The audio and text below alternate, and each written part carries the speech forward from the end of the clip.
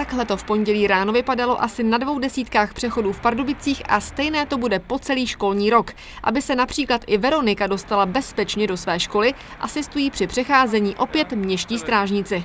Je to lepší, protože vím, že můžu přejít. Pro mnoho řidičů je to určitě aspoň nějaká výstraha. Už dceru se nebojím vypustit samotnou z domu. Strážníci jsou na místě vždy před půl osmou a zůstávají tu kvůli školákům opozdělcům i chvíli poté, co ve školách ráno poprvé zazvoní. Nejvíc těch dopravních událostí, zejména s těma školákama, je v těch poté osmé hodině, kdy opravdu se nerozhlídnou, vběhnou do silnice. Státní policisté připravili svou preventivní akci na první zářijový týden záměrně. Zejména děti jsou také častými účastníky dopravních nehod a, a právě v těchto poprázdninových dnech je potřeba je malinko upozornit více než kdykoliv předtím.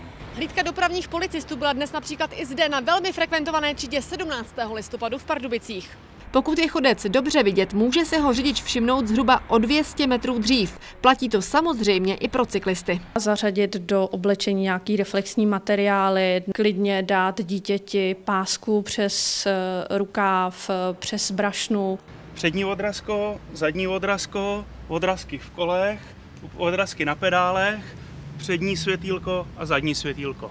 Mám tady tyhle ty proužky a tyhle ty tenky. Já mám svítící boty, abych byla vidět.